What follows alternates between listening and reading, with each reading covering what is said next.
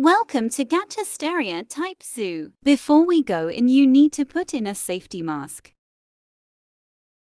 Now, let's go in. Here we have the our cats.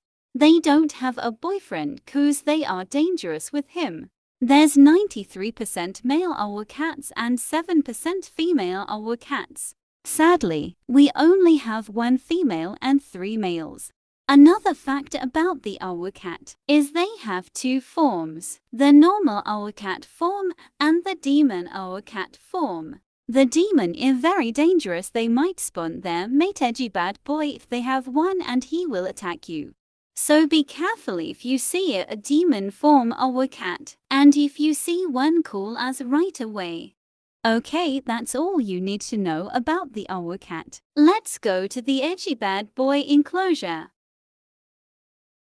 Okay, so this is the edgy bad boy enclosure. They usually work out from 10 to 20 minutes so they can impress their mate, and I mean the owl cat.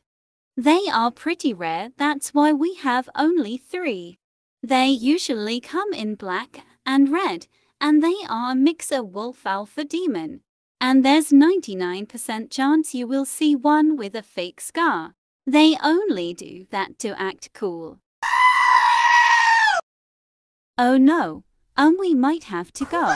Let's go.